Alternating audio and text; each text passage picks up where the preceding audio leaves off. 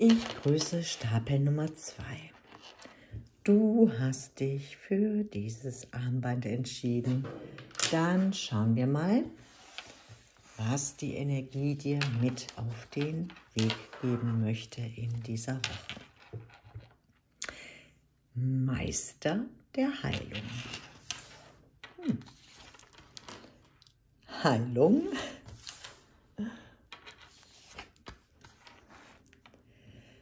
Kommunikation zwischen Arten, Tiere, Haustiere, magische Begleiter. Oh, schön. Den Drachen hast du hier an deiner Seite. Wunderschön. Tiere. Nochmal die Heilung. Heiler der Ewigkeit.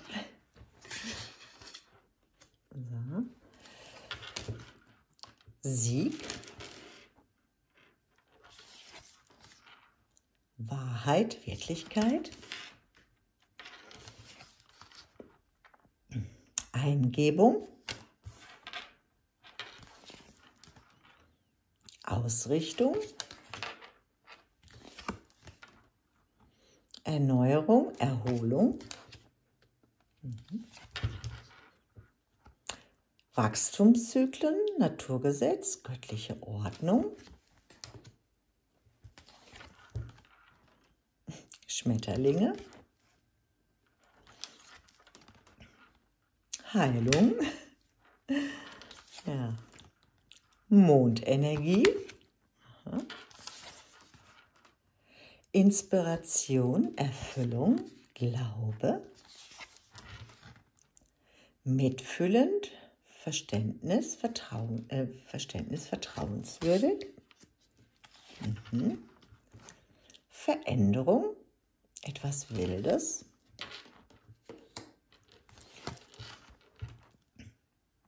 Hingabe, Feuerelement. Shamael, Gelassenheit.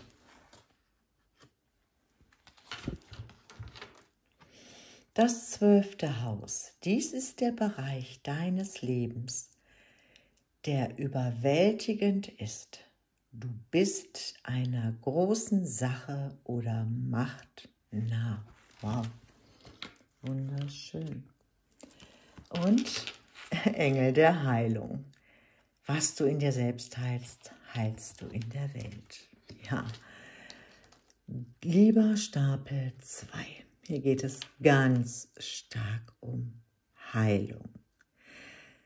Aber du hast schon vieles geheilt und jetzt kommt die Energie, du kommst in deine Meisterschaft. Die Familie des Lichts führt dich, du bist geschützt. Es geht jetzt auch hierum, dass du in dieser Energie Energie kommst, in eine Veränderungsenergie, machst dir so viel Heilung. Das war aber nötig. Du hast vieles in dir geheilt. Und jetzt darfst du es weitergeben. Aber du hast hier auch ganz viel mit Tieren zu tun. Dass du Tiere auch heilen darfst, aber auch magische Begleiter hast von Tieren, ne? hier den Wolf, ja auch nochmal, ähm, du hast diese magischen Tiere bei dir, die dich unterstützen, auch, die den Weg weisen in eine neue Ausrichtung, wo du andere heilst. Gib dich dem hin. Du wirst hier in eine Veränderung gehen und wirst dadurch quasi in deinen Sieg gelangen. Also das, was du machen wolltest oder vielleicht, wo dir jetzt noch eine Idee kommt, das ist deine Wahrheit, deine Wirklichkeit. Diese möchte jetzt gelebt werden. Vertraue und glaube deinen Inspirationen. Sie sind vertrauenswürdig. Und hier ist wirklich die Verbindung ganz, ganz wichtig mit Tieren,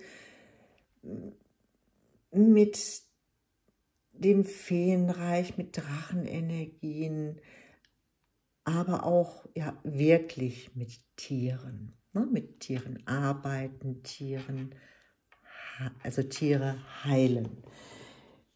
Wichtig ist, dass du in deiner Gelassenheit bleibst, also in deiner gelassenen Energie, weil deine gelassene Energie heilt auch andere. Und sie bringt dich vorwärts. Vielleicht hast du in der letzten Zeit auch viel Schmetterlinge gesehen. Das kann natürlich auch sein. Ne? Sie sagen dir dann immer auch als Bestätigung, ja, du bist in der Veränderung, deine Heilung hat stattgefunden, du bist und darfst jetzt wirklich in die nächsten Energien gehen und andere heilen. Menschen oder Tiere, wie auch immer du dir das ausgesucht hast.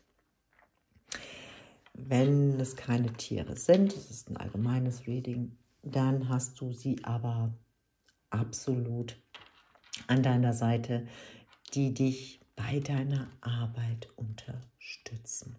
Sehr schön. Und es ist jetzt die Zeit für Heilung und es brauchen ganz viele Menschen Heilung. Jetzt ist wirklich der Zeitpunkt dafür. Und ne, hier mit dem zwölften Haus, ähm, ja, Haus, dies ist der Bereich deines Lebens, der überwältigend ist. Du bist ein, einer großen Sache oder Macht nah. Habe ich falsch geschrieben, sehe ich gerade. Nahe. Also, ne? schau da hin. Nutze auch die Vollmondphase, das sind sowieso immer die besten Energien, in der Vollmondphase schon damit zu arbeiten. Mit dem Neuen, ne, was du hier machen möchtest. Wie gesagt, lass dich von deiner Inspiration leiten. Es ist deine Wahrheit, deine Wirklichkeit und damit wirst du einen Sieg erlangen, weil ne, wer so viel Heilung weitergibt, du wurdest aber auch ganz Stück, also ganz groß hier unterstützt von der Familie des Lichts. Wichtig immer nur in deiner Mitte zu bleiben, ganz, ganz wichtig. Hier waren auch in der letzten Zeit neue Ausrichtungen und ähm, es kann auch sein, dass du in der letzten Zeit auch so ein bisschen ähm, Erholung brauchtest, auch mit den Energien immer wieder mal müde warst, viel von den Außenenergien. Ähm, da ist wirklich hier auch nochmal der ähm, schwarze Turmalin für dich wichtig. Also sowieso immer ganz gut in der letzten Zeit mit den Energien, da vielleicht mal ähm, einen Turmalin mit sich zu tragen, immer unterstützend, sehr gut. Du hast alles an deiner Seite, doch das kann nicht schaden. Also, ne? Aber auch, Moment, ähm, deine Steine jetzt mit der Mondenergie ah, zu reinigen, soll ich sagen. Ah, okay sie zu reinigen. Also das ist auch wichtig. Ähm, sie haben nämlich viel ähm, diese Energien aufnehmen müssen und diese dürfen jetzt gereinigt werden. Okay, danke schön. Nimm die neue Energie der Veränderung an Nimm die magischen Begleiter an. Hier kann also wirklich etwas Wildes auf dich zukommen. Wie auch immer, geh mal in eine Meditation und dann kannst du auch nachfragen, welches Krafttier dich begleitet, welches dich jetzt unterstützt. Auf deinem Weg, bei deinem Glauben. Sehr schöne Energie. Und es war jetzt so ein Wachstumszyklus, wo hier wieder etwas neu geordnet wird. Neue Ordnung. Sehr schön. Ganz viel Heilungsenergie bei dir. Wichtig, in deiner Gelassenheit, in deiner Mitte zu bleiben. Und auch hier hm, in den Energien zu bleiben. Immer schön. Ne? Solarplexus darf geöffnet werden bis zur Herzenergie hin. Ähm, ja, vielleicht auch mit Feuerelementen arbeiten, die unterstützen dich. Du hast hier zweimal das Feuerelement. Vielleicht bist du auch ein Feuerelement. Das kann natürlich auch sein. Aber das ist super schön. Also du hast hier ganz viel Energie, Kraft und wirklich Meister der Heilung. Du bist ein Heiler, eine Heilerin und bekommst hier auch nochmal ganz, ganz viel Eingebung. Nach einer Zeit der Ruhe. Nimm deine magischen Begleiter an, auch mit ihnen kannst du kommunizieren, aber auch mit Tieren. Sehr schön. Also weiter und weiter in dieser Energie bleiben, also wirklich in deiner Mitte bleiben. Ich liebe meinen Körper. Sehr schön. Für den einen oder anderen, der noch nicht in dieser Heilung ist, ich liebe meinen Körper. Und dann schauen wir mal, ob wir noch eine bekommen. Hoppala, na gut, haben wir jetzt dann direkt mehrere. Okay. Ich verzeihe mir die Fehler der Vergangenheit. Okay, das ist vielleicht für jemand anderes, das ist vielleicht für jeden jetzt was dabei. Ich bin sicher, das Universum sorgt für mich. Absolut. Sehr schön, also auch hier ne, mit dem Turmalin. Das Universum sorgt für dich, du hast die Energiefamilie da. Und schwere Aufgaben werden nur den besten Studenten übertragen. Ja, weil hier kommt ja jetzt wirklich etwas ganz Tolles auf dich zu. Bist einer größeren Sache oder Macht nahe. Sehr schön. Und das Ganze ist, was hier auf dich zukommt, vertrauenswürdig. Also, ich denke mal, hier ist vielleicht für jeden etwas dabei. Ne? Das wisst ihr ja. Und dann schauen wir mal, ob wir noch eine Drachenkraftenergie für dich bekommen. Du hast ja auch hier, ne? da oben den Drachen ne? und hier den Drachen.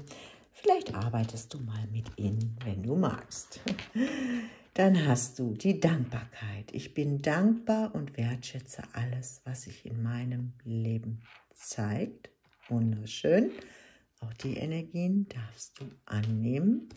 Kommst in deinen Sieg. Alles, was dir gezeigt wird, ist deine Wahrheit, deine Wirklichkeit. Und das Urvertrauen. Ich aktiviere mein Urvertrauen ins Leben und fühle mich jederzeit sicher und geborgen. Wow. Wunderschön. Also der eine, der mit Tieren arbeitet, super. Ihr könnt hier super unterstützend wirken. Vertraut euch selber. Und die anderen haben halt eben ihre magischen Begleiter in dieser Woche. Wirklich die Tiere. Ich hoffe, ich konnte euch ein bisschen helfen. Wünsche euch eine wunderschöne, gesegnete Zeit. Für alle die, die heute Muttertag haben, noch einen schönen Muttertag oder ich hoffe, ihr hattet einen schönen Muttertag und freut euch auf diese wunderschöne Energie der Heilung. Wunderschön. Aber achtet hier auch auf die Reinigung und wisst, das diente der Erneuerung, der Erholung. Okay? Dann sage ich mal, bis bald, wenn du magst. Ciao.